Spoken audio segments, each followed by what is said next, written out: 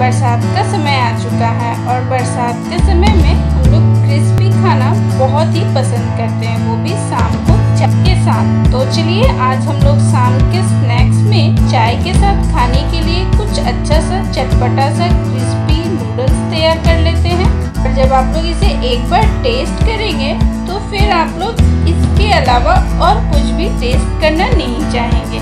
तो चलिए, फिर हम लोग शुरू करते हैं।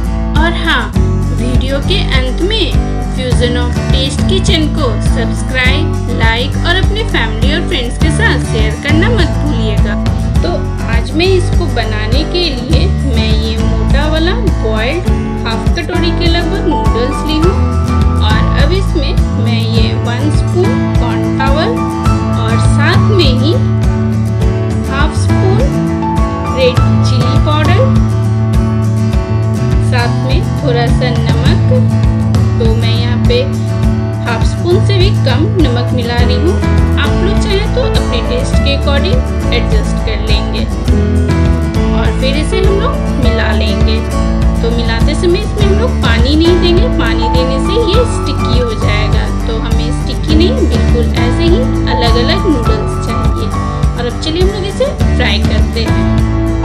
तो फ्राई करने के लिए मैं कढ़ाई तेल गर्म हो जाए, तब इसमें हम लोग थोड़ा थोड़ा करते हुए नूडल्स इसमें डिप करते जाएँगे। तो एक बार में आप लोग ज़्यादा नूडल्स मत दीजिएगा, नहीं तो ये आपस में सट जाएगा। और फिर इसे हम लोग चलाते हुए हल्का ब्राउन होने तक फ्राई कर लेंगे।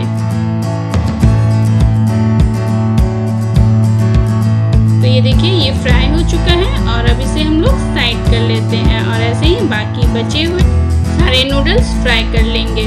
और फिर इसको सर्व करते समय हम लोग इस पर थोड़ा सा चाट मसाला और थोड़ा सा ब्लैक पेपर पाउडर स्प्रिंकल कर देंगे और फिर इसे हम लोग गर्मा गर्म चाय के साथ सर्व करेंगे।